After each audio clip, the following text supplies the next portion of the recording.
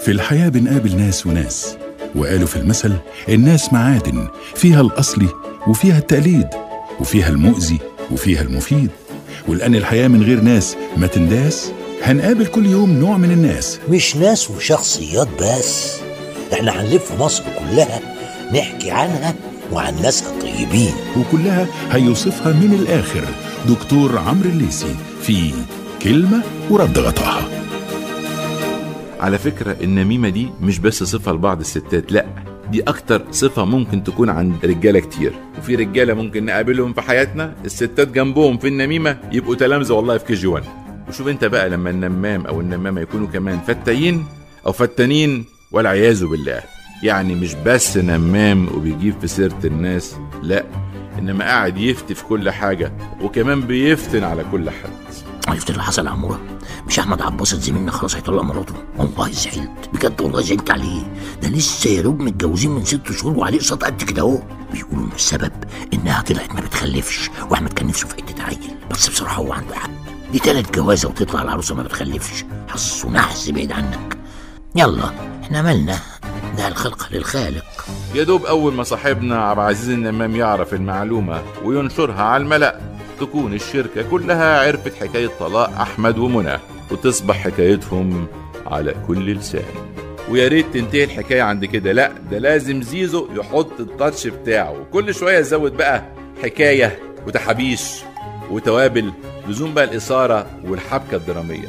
ويفوت يوم واتنين وفي التالت يدخل علينا أخوك رويتر بالمنشط العريض. وفي الخلفية مزيكة suspense مثيرة ويقول لك عن عن عن عن سمعتش انت بقى عن الصدمة الكبيرة اللي حصلت امبارح لأخونا أحمد عباسط مش اكتشف إنه بعد ما طلق منى إن منى طلعت حامل. والله العظيم. تخيل. بعد الطلاق على طول منى راحت ازيد للدكتور عشان تعمل تشيك اب كامل كده. قام الدكتور شك وطلب منها تعمل تحاليل حمل المفاجأة الكبيرة بقى إنها طلعت حامل. والله يا أحمد عباسط ده صعبان عليا. يا ترى هيعمل إيه دلوقتي؟ ها؟ يا ترى هيعمل إيه؟ ما تعرفش ما تعرفش عمرو هيعمل إيه أحمد عباسط وتتوالى إذاعة حلقات أحمد عباسط ومنى في الإذاعة الداخلية للشركة يوميا. ويبدأ الناس يسألوا صاحبنا النمام وكالة الأخبار المتنقلة عن آخر الأخبار. وطبعا سيادته في كل يوم بيزود تحابيش وتوابل ويفضل على كده لغاية ما تعرف الشركة كلها إن منى رفضت ترجع لأحمد لأنه طبعا باعها وغدر بيها وطلقها وما وقفش جنبها في أزمتها. حسبي الله ونعم الوكيل فيك يا عبد العزيز.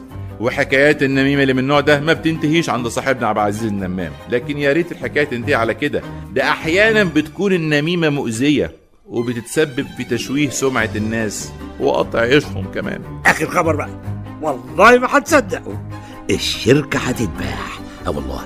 سمعت إن رئيس الشركة بيتفاوض خلاص على بيعها عشان الخسائر الأخيرة. وسمعت والله أعلم إن المشتري الجديد هيدفع للناس كل المكافآت والحوافز المتأخرة. يلا يا مسهل يا ما انت كريم يا رب. والناس طبعا تسمع الأخبار من صاحبنا عبد العزيز النمام وتبدأ الشكوك والهواجس. تنتشر في كل الشركة.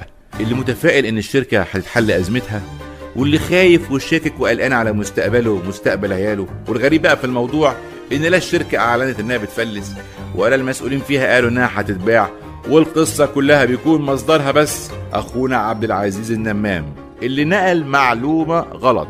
والمشكلة بقى إن النميمة اليومين دول بقت متنوعة جدا وبقى ليها منابر إعلامية بتظهر فيها وصفحات على السوشيال ميديا ومواقع وبقى ليها نجوم بيتكلموا طول الوقت بينقلوا أخبار كاذبة ملهاش أصل ولا مصدر. كل يوم يكتب لك واحد على صفحته إن الفنان الفلاني الفلاني الكبير مات. وإن الفنانة الفلانية اتطلقت. وحكايات ورغي والمشكلة ما بتكونش بس في نقل الأكاذيب لا.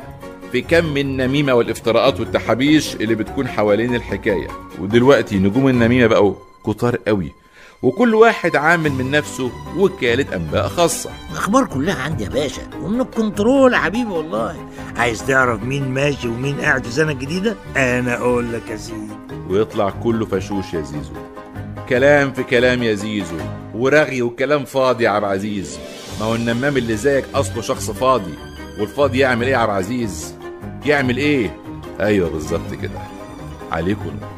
خدوا بالكم منهم خدوا بالكم من عبد العزيز واللي زيه وأوعى تدوهم ودانكم تاني.